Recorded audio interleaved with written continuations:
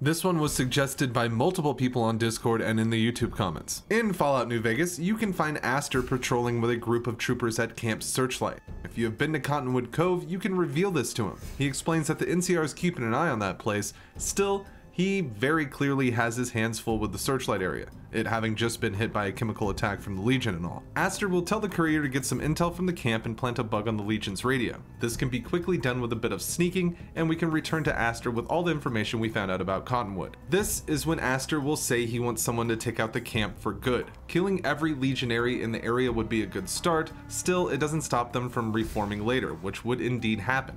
Luckily, there is a way to prevent Cottonwood from hosting Legion or anyone else ever again. On Cottonwood Overlook, we can find this truck teetering off the edge, door facing the camp.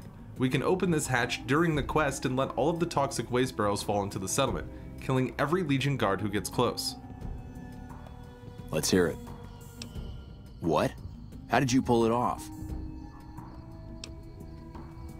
That's exactly what we needed to put a cork in that camp. Legion won't be moving through there anytime soon. Fitting that the camp was taken care of in a way similar to Searchlight.